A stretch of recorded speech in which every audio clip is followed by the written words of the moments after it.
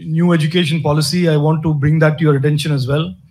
It is almost like the universe is coming together to give the tech ecosystem a huge uh, uh, jump, a step function opportunity for growth.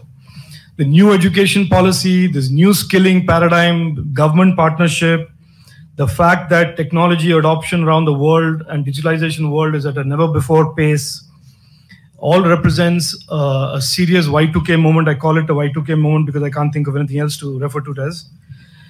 But I am, I, I, say again, and I've said this in many other seminars that have been hosted by NASSCOM and others, that this is really an inflection point for us. We have to seize the moment as an inflection point. The next two to three years, we've got to get our act together very, very smartly.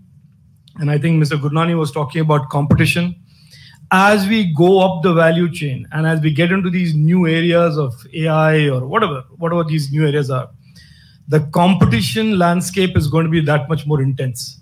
People are not just going to roll over and give us their breakfast, lunch, and dinner. And therefore, the competition intensity, therefore, the skill intensity is really part of the formula for success that we should be focusing on.